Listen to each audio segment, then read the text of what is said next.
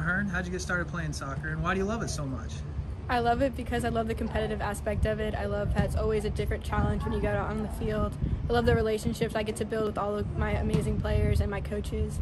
And I just love being able to go out and play and just not have to think about anything else. All right, so you're at Richland Collegiate High School. You're yes. going to graduate high school with your associate's degree. Yes. It makes you a lot more recruitable to college coaches. Tell us about why you're so focused on your grades and performing well in the classroom. So I've always kind of been like grades were always like taught to be the most important thing. My parents always enforced that for me.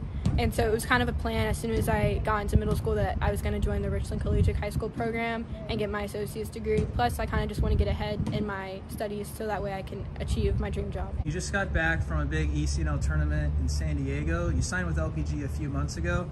What has the process been like so far? I know it's really picked up lately, but what's maybe something that surprised you that you may not have thought going into the process? So I definitely was so surprised with like the amount of college coaches that we were able to contact, and then of course with the responses as well. I just thought that was like the most amazing thing, and it gave me so much confidence being able to go into the weekend. You were telling me earlier how surprised you were when you actually showed up. You told me you said I think a lot of these schools are here to see me. Yes. Tell other prospects and other high school prospects, what is that feeling like? The feeling is just amazing. Like you're on the field, you're playing, and all of a sudden you look over at the sideline and you see all these colleges that you contacted, and then it's just like, okay, there's like a 90% chance they're here for me.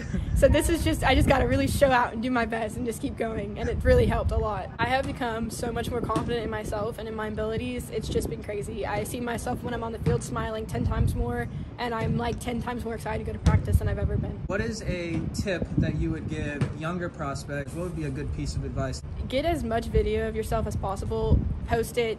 You know, it's yourself. Just show the world what you're doing.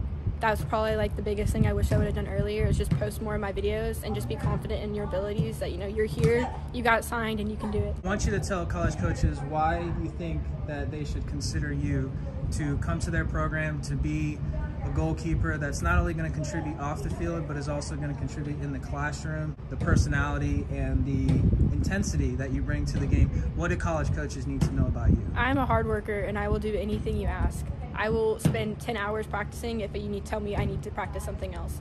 I will be on the field, first one there, last one to leave. All right, we're going to hold you to that. Ariana Hearn, thanks for your time. Thank you.